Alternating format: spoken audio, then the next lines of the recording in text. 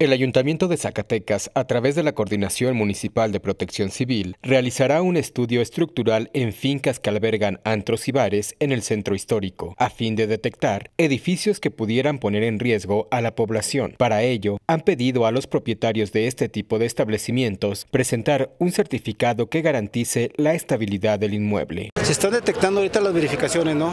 Conjuntamente se está pidiendo lo que más nos interesa, que es lo, lo estructural, los dictámenes estructurales de los inmuebles, ¿no? Por las casas que se están colapsando, entonces no queda exento los bares que están en el centro de la ciudad, que es lo que más nos interesa, ¿no? Hasta ahorita estamos en eso, ¿no? Estamos apenas checando eh, lo que es en, lo que es en diciembre enero es cuando nos tocan los bares. Martín Valenzuela, coordinador municipal de Protección Civil de la capital, detalló que los exámenes estructurales deberán ser realizados por expertos en el tema y que quien no cumpla con este requisito será sancionado.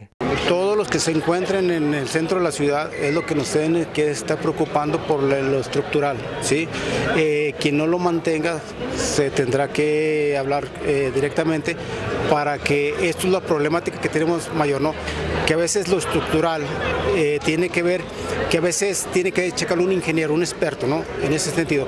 Quien no cumpla, pues van a tener que clausurarse esos centros. Hasta el momento, en la verificación realizada desde diciembre, no se han detectado edificios que representen un riesgo para la población. Sin embargo, el ayuntamiento capitalino ya ha destinado recursos que serán utilizados en la restauración de fincas en mal estado ubicadas en el primer cuadro de la ciudad. Para Sistema Informativo CISART, César Horta.